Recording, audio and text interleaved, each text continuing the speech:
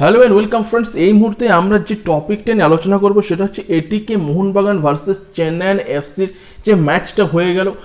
সেটা থেকে আমরা কি কি জিনিস দেখতে পেলাম সেটা নিয়ে আজকের এই আলোচনা এবং ম্যাচটা কেমন হলো সেটা নিয়ে আলোচনা। তো প্রথমে বন্ধুরা যেটা বলব যে ম্যাচটা কিন্তু প্রচণ্ড উত্তেজক একটা ম্যাচ কিন্তু হয়েছে। আহ, চেন্নাইন এফসি এবং এটিকে মোহনবাগান দুজনেই কিন্তু দুর্দান্ত কিন্তু ফুটবল উপহার দিয়েছে। যদি আমরা লাইন আপটার দিকে তাকাই তাহলে দেখব এটিকে Mohun Bagan coach Antonio Lopez Habas.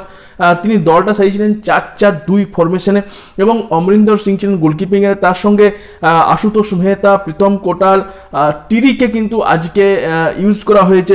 এবং তিনি যদি একটা হলুদ কার্ড দেখেছেন আজকে আর সুভাষিস বোস চারজন ডিফেন্সে এবং চারজন মিডফিল্ডে ছিলেন এবং মনবীর সিং, দীপক টাংরি জনি কাউকে এবং লিস্টন কোলাসো। তার সঙ্গে ডবল স্ট্রাইকারে তিনি ছিলেন, একটা হচ্ছে রয় কৃষ্ণা এবং হুগো বুমোস যদিও হুগোমোস কিন্তু একটু নিচ থেকে অপারেট করছিলেন অ্যাজ এ উইথড্রল স্ট্রাইকার বা তুমি অ্যাটাকিং মিডফিল্ডার হিসাবে।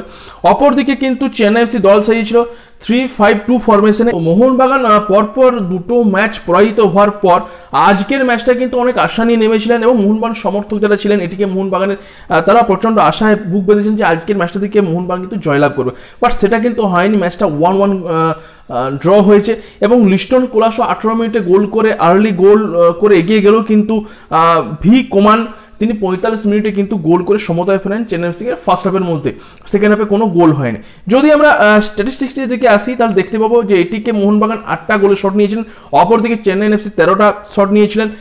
শট অন টার্গেট দুই দুই এবং বল পজিশন ছিল বিয়াল্লিশ পার্সেন্ট এটিকে মোহনবাগানের দখলে এবং আঠান্ন পার্সেন্ট চেন্নাইয়ের এফসির দখলে।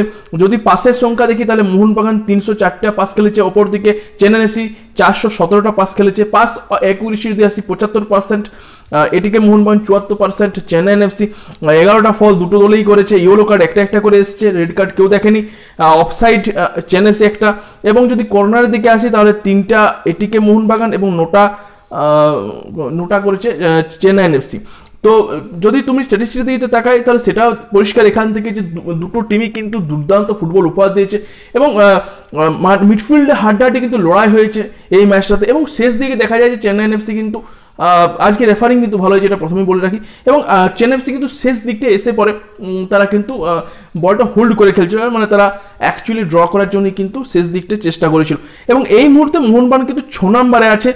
পাঁচটা ম্যাচ খেলে তারা দুটো জয়লাভ করে এবং একটা ড্র করে এই মুহূর্তে সাত নাম্বার মানে সাত পয়েন্ট পেয়ে ছ নম্বর অবস্থান করছে। আজকের এই ম্যাচটা থেকে এটিকে মোহনবাগান এবং চেন্নাই এফসি সাথে এই যে ম্যাচটা হলো এটা থেকে এটিকে মোহনবাগানের গেইন কি লস কি যদি বলি যদি এটা আসি, তাহলে অবশ্যই দেখব যে টিরির যে পারফরমেন্স ফার্স্ট ম্যাচ খেলো টিরি কিন্তু দেখে বোঝা যায় না যে তিনি আজকে ফার্স্ট ম্যাচ খেলছেন যা ফিটনেস যেভাবে তিনি ট্যাকেলগুলো করেছেন হেডে যেভাবে তিনি দক্ষতা দেখিয়েছেন তাতে কিন্তু টিরি অবশ্যই এটিকে মোহনবাগানের অন্যতম ভরসা হয়ে উঠতেই পারেন এবং কার্ল মেকুর জায়গাটায় কিন্তু দুর্দান্ত খেলেছেন কিন্তু টিরি। অপরদিকে যদি লসের কথা বলি হুগো বুমোসের পারফরমেন্স কিন্তু এসসি এসটি ব্যাঙ্গলোর ম্যাচের থেকে কিন্তু ধীরে ধীরে তার গ্রাফ কিন্তু নিচের দিকে নামছে। যেভাবে শুরু করেছিলেন প্রথম ম্যাচটা হুগোমোস এখন কিন্তু হুগোমোসকে কিন্তু সেই জায়গাটা পাওয়া যায়নি আশা করব খুব শীঘ্রই কিন্তু হুগোমোস তার নিজের জায়গায় ফিরে আসবে এবং এটিকে মোহনবান দুর্দান্ত একটা টিম তৈরি উঠবে। অপরদিকে যদি আমি হাওয়াসের দিকে তাকাই, তাহলে ডেভিড উইলিয়ামসকে আমার মনে হয়? একটু আগে নামানো উচিত ছিল। যদিও অনেক দেরি করে নামানো হয়েছে, প্রায় নব্বই মিনিটের কাছাকাছি সময়, সেই সময় নামানো, না নামানো প্রায় সেম যদি ওটা সত্তর মিনিট কি ষাট মিনিটের সময় যদি নামানো হতো, আমার আরও বেশি কার্যকরী হতো। তো ভিডিও ভালো থাকে অবশ্যই লাইক শেয়ার সাবস্ক্রাইব করে দেন দেখাবেন নতুন কোনো ভিডিওতে, নতুন কোনো লাইভে ততক্ষণ জন্য keep supporting keep loving and bye